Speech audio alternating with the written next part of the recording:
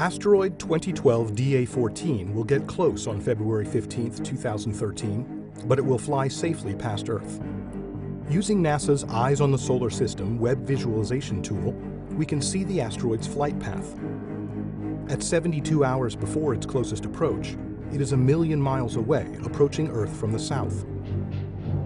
24 hours from closest approach, DA-14 is about 300,000 miles away. We see NASA's fleet of tracking and data relay satellites, or TDRS, in geostationary orbit, which is more than 22,000 miles above Earth's surface.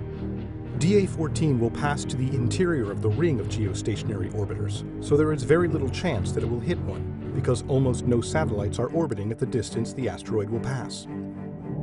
12 hours out, we begin to see the bright white of Antarctica as DA-14 approaches. It's summer at the South Pole when the continent basks in sunlight 24 hours a day. At the six-hour mark, we see low Earth orbiting spacecraft, flying less than 500 miles above us. The asteroid will be flying at much higher altitude, and none of these spacecraft are in danger of being hit. 30 minutes before closest approach, the sun is about to rise over eastern Australia. At its closest point, DA-14 will be no less than 17,000 miles above Indonesia, traveling about 17,500 miles per hour relative to Earth. DA-14 becomes visible over Europe about an hour after closest approach, and visible to telescopes in North America six hours later, after sunset. The asteroid will be fading in brightness by this time because it will be moving away from Earth.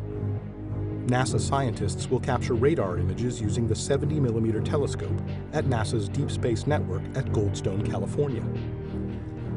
The information will help them determine the asteroid's shape, size, and spin rate to learn even more about asteroid 2012 DA14.